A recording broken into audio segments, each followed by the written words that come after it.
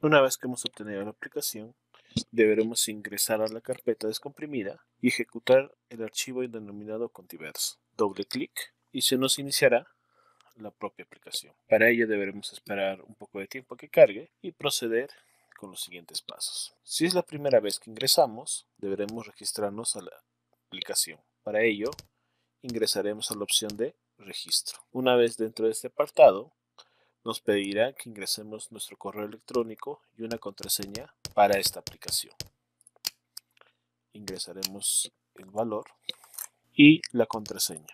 Recordemos que esta contraseña puede ser diferente a la de nuestro correo electrónico. Confirmamos nuestra contraseña y presionamos el botón de registrar. Una vez que hemos realizado el proceso nos sale la alerta de registro completado. Para ello ahora regresaremos hacia atrás con este botoncito de flecha e ingresaremos los datos con los que nos hemos registrado. Este proceso de registro solo es necesario realizarlo una vez, ya que de esta manera tendremos acceso al sistema. Ingresamos nuestras credenciales y presionamos ingresar. Esperamos un momento y llegaremos al apartado de personalización del avatar en el cual podremos configurar tanto el género como rasgos físicos y vestimenta, así como la asignación de un nombre a nuestro avatar. Simplemente para cambiar el género deberemos escoger entre los dos géneros que tenemos disponibles. En este apartado deberemos escribir nuestro nombre de avatar, en este caso estudiante prueba lo voy a denominar, y tengo acá la configuración de rasgos físicos. Al hacer un clic en este apartado, Podré escoger el tono de piel que quiera que tenga mi avatar. Podré ver la tonalidad que creo que más se parezca. Y podré usarlo directamente. Tengo la flechita para pasar a la opción de estatura, contextura y músculos, que puedo cambiarlo de acuerdo a lo que yo pueda estar necesitando. Tengo la posibilidad de cambiar el color de ojos, de ser necesario, el tamaño, distancia y posición para la parte del rostro, así como la parte de el aspecto facial que éste va a tener.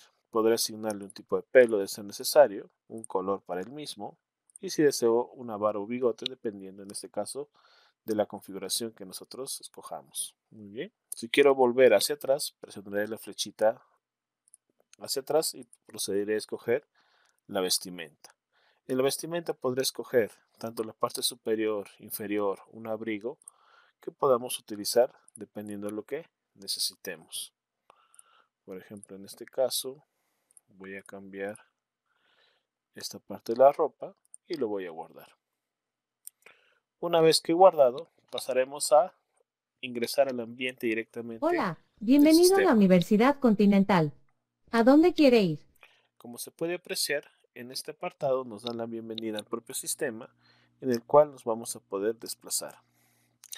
Recordemos dos puntos importantes en los controles. Manejaremos al avatar el movimiento del mismo utilizando el teclado y para algunas acciones utilizaremos el mouse. Si queremos avanzar o retroceder, deberemos usar las teclas. Por ejemplo, para avanzar es la tecla W, para retroceder la tecla S, para ir hacia la izquierda la letra A, para ir hacia el, hacia el lado derecho la letra D. WASD son las teclas de direcciones que nos van a permitir mover nuestro avatar. El otro punto del ratón o del mouse nos va a permitir mover la cámara en el ambiente virtual. Si se dan cuenta, cada vez que muevo el mouse de un lado hacia el otro, se va a mover la cámara o lo que está visualizándose dentro del ambiente. Recordemos, si en caso, por ejemplo, perdemos la ubicación del mouse, presionamos la tecla Escape y se va a posicionar nuevamente en la parte central. Como pueden ver, dentro de nuestro ambiente tendremos algunas opciones de ubicación. En el lado derecho podremos encontrar las opciones tanto para levantar la mano como para realizar el gesto de saludo.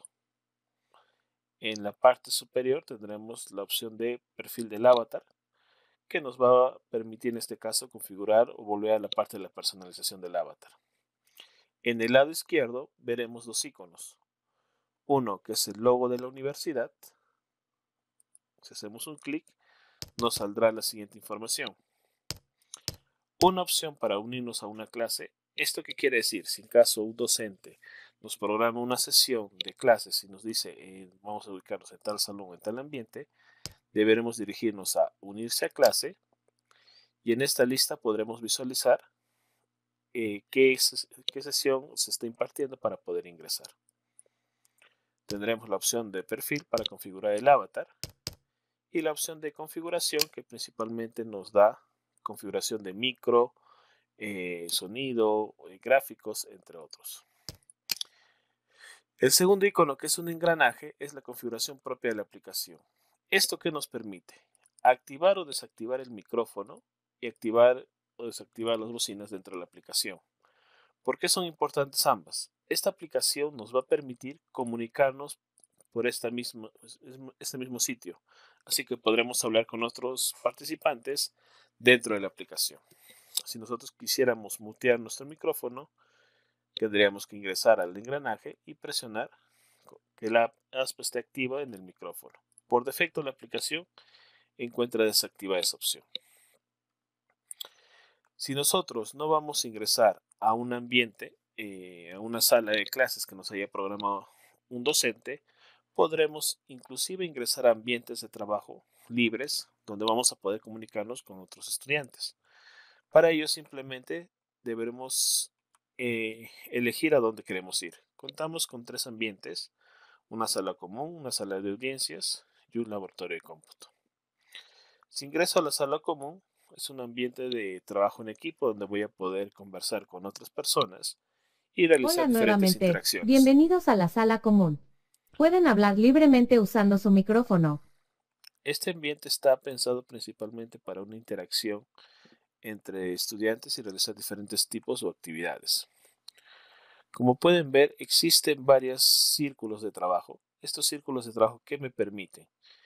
Me permiten trabajar privadamente. ¿Qué quiere decir con esto? Que una persona que se ubica en este círculo solo va a ir, va a escuchar a los personajes o los avatars que se encuentran dentro de este círculo. Fuera del círculo no va a escuchar a nadie y una persona externa al círculo tampoco va a poder escuchar. Esta es una opción que podemos tener en cuenta para nuestras reuniones. Como ven, en algunos objetos tenemos algunos iconos que nos van a permitir sentarnos o ponernos de pie para poder conversar. También tenemos la propia eh, conversación directamente con los participantes. Tenemos una opción de preguntas en caso queremos generar una pequeña encuesta entre los integrantes que se encuentran dentro de la reunión, así como también tenemos la posibilidad de grabar. ¿Qué es esta opción de grabar?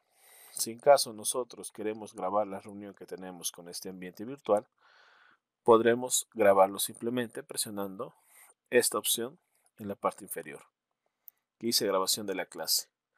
Tendremos eh, tres botones, uno que me permite iniciar, otro que me va a permitir detener y el tercero que me va a permitir ubicar dónde se encuentra la grabación. ¿Cómo funciona esto? Esta opción va a tomar como referencia eh, el campo visual que tiene el avatar. Si yo pongo iniciar grabación, va a grabar exactamente lo que estoy visualizando en este momento ya sea si han compartido una presentación, eh, se está compartiendo el escritorio, entre otros, vamos a poder grabarlo. Una vez que se detiene, simplemente presiono grabación y presiono detener. Nos va a salir una alerta que la grabación se está realizando y se está almacenando en nuestro equipo de cómputo.